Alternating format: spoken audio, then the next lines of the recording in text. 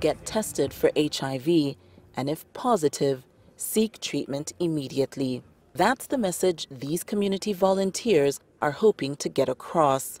Nigeria is working hard to curb the spread of the virus, and health experts believe they're winning the fight.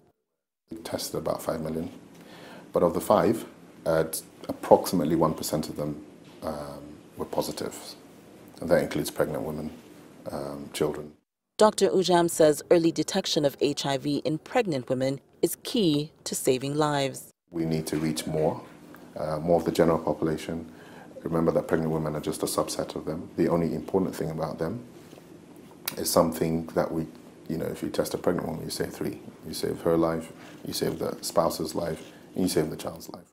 Like in many other countries, one of the biggest challenges here is the stigma attached to the disease, but the Nigerian government hopes to change that. HIV and AIDS related stigma often leads to discrimination in the workplace and even by healthcare professionals. Nigeria's lawmakers are putting legislation in place to protect people living with HIV and AIDS and to give them further protection in the workplace and when receiving healthcare treatment.